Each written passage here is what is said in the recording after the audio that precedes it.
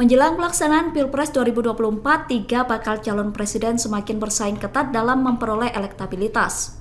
Tiga bakal capres Anies Baswedan, Ganjar Pranowo, dan Prabowo Subianto bertarung ketat dalam survei yang dilakukan di berbagai lembaga. Berikut kami rangkumkan hasil 15 survei dari berbagai lembaga dalam tiga bulan terakhir. Yang pertama adalah survei dari Lembaga Survei Indonesia. Dalam survei LSI yang dilakukan pada 3 sampai 9 Agustus 2023, elektabilitas Ganjar unggul di posisi pertama. Pada simulasi tertutup tiga nama, Ganjar mendapat elektabilitas sebesar 37 persen. Kemudian disusul Prabowo di posisi kedua dengan elektabilitas 35,3 persen dan Anies 22,2 persen. Sedangkan dalam hasil survei Lembaga Survei Jakarta, Prabowo Subianto mendapatkan suara paling banyak. Berdasar survei yang dirilis pada Senin 28 Agustus, Prabowo mendapatkan elektabilitas hingga 40,8 persen, sedangkan Ganjar 33,1 persen dan Anies 20,9 persen. Survei tersebut dilakukan pada 14 hingga 24 Agustus 2023 dengan melibatkan 1.200 responden. Lembaga survei ketiga yang turut merilis hasil terbarunya adalah Saiful Mujani Research and Consulting. Dalam survei yang dilakukan pada 31 Juli sampai 11 Agustus 2023 itu, Ganjar merebut posisi pertama. Elektabilitas Ganjar unggul 35,9 persen, disusul Prabowo 33,6 persen, dan Anies 20,4 persen. Ganjar juga unggul dalam survei Litbang Kompas yang dilakukan pada 27 Juli sampai 7 Agustus.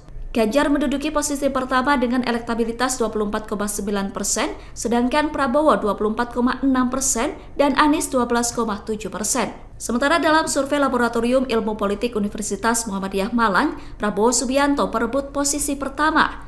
Prabowo memperoleh 37,3 persen terpaut tipis dengan Ganjar dengan 34,2 persen suara, sementara Anies menempati posisi paling buncit dengan perolehan 7,1 persen. Nama Prabowo kembali unggul dalam lembaga survei dan polling Indonesia. Prabowo mendapat elektabilitas 41,7 persen, disusul Ganjar 30,3 persen dan Anies 21 persen. Sementara berdasar lembaga survei political statistik, Prabowo unggul disusul Ganjar dan Anies di posisi ketiga. Dalam lembaga survei nasional, Prabowo masih bertahan di posisi pertama dengan elektabilitas 28,5 persen. Sedangkan Ganjar di posisi kedua mendapat elektabilitas 17,6 persen dan Anies 13,4 persen. Lembaga survei New Indonesia Research and Consulting juga merilis hasil surveinya pada Juli lalu. Berdasar survei itu, Prabowo melesat dengan elektabilitas 26,5 persen, disusul Ganjar 23,6 persen, dan Anies 13,3 persen. Kemudian berdasar hasil survei indikator politik Indonesia yang digelar periode 20-24 Juni 2023, Prabowo masih bertahan unggul. Prabowo mendapatkan suara 36,8 persen bersaing tipis dengan Ganjar di posisi kedua 35,7 persen. Sementara Anies di posisi ketiga mendapatkan suara 21,5 persen. Dalam survei Ipsos Public Affair, Prabowo unggul dengan 36,65 persen, disusul Ganjar 34,46 persen, dan Anies 25,60 persen. Prabowo kembali menang dalam survei head-to-head melawan Ganjar di survei Polygraph, sementara Anies tertinggal jauh dari Prabowo dan Ganjar dalam semua simulasi. Dalam survei indikator politik nasional, Prabowo juga masih unggul kalahkan Ganjar dan Anies di posisi ketiga. Kemudian dalam survei Trust Indonesia, elektabilitas Prabowo unggul di Jawa Barat. Sementara Anies menempati posisi kedua di Jawa Barat dengan 34,2 persen, disusul Ganjar 12,9 persen.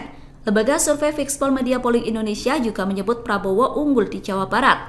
Prabowo unggul dengan elektabilitas 38,4 persen dan Anies di posisi kedua 33,7 persen. Sedangkan Ganjar kalah jauh di Jawa Barat dengan suara 16,9 persen. Thank you.